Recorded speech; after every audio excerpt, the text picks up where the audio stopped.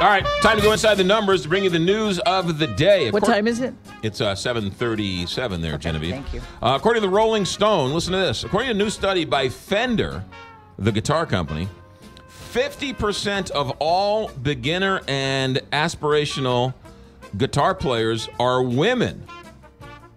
When the company found similar results a few years ago, they thought it was um, a result of the Taylor Swift factor.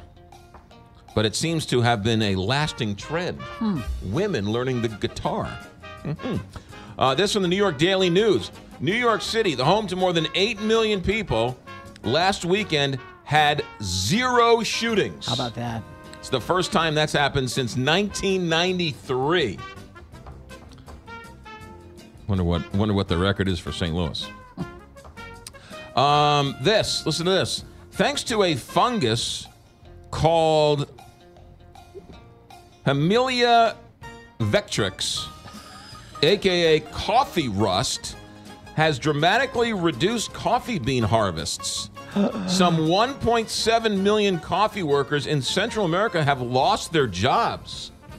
Coffee rust has affected 70% of the farms and combined with low coffee prices overall has devastated the coffee industry in the region of South America.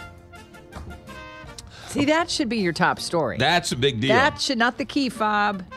Nothing else matters. but And- that coffee bean. And finally, according to a new study published by the Proceedings of the National Academy of Sciences, we humans have hastened the extinction of more than 300 species of mammals, thus depriving them of 2.5 billion years worth of unique evolutionary history.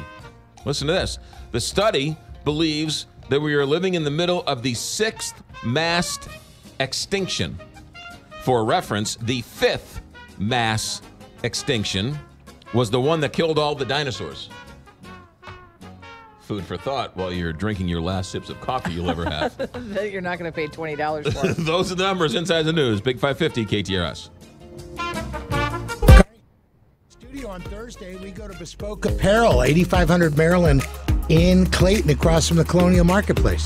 And it should be exciting. You know, they've outfitted some big celebrities. like Deion Sanders and even Muhammad Ali, and they're suiting up soldiers. A worthwhile effort for veterans. More information on their website, thebespokeapparel.com.